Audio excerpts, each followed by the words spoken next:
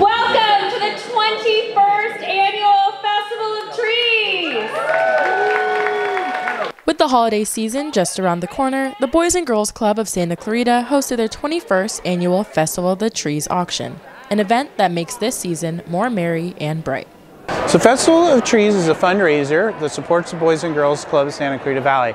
So what we're doing is auctioning off amazing, beautifully designed trees and gingerbread houses and wreaths that were all designed by volunteers um, that spent countless hours putting it all together. And then all the funds that from the auction go to support the Boys and Girls Club of Santa Clarita. 600. Now seven. Sean, with you at six asking $700. Don't miss it. Six is bid. Guests of the event not only find joy in the event kicking off the holiday season, but also making a difference in the lives of the kids they are supporting.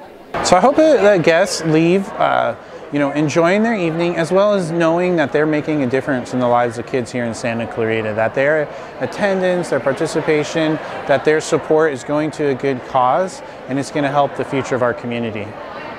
Others also find community within the event. Events like this are what make a community an actual community when everybody gets together, everybody who's got their own life going on, their own little whatever's important to them, but then we all get together to support a, a bigger cause like the Boys and Girls Club. When we all get together to take care of a bigger cause, that's what makes a community. For Canyons News, I'm Shalisa Curlpun.